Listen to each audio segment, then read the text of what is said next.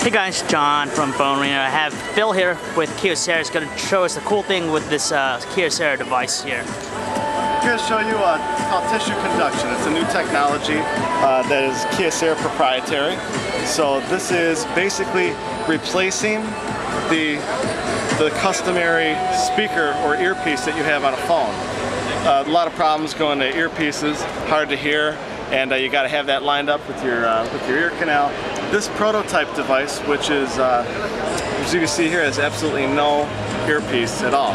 This relies on a new technology called tissue conduction.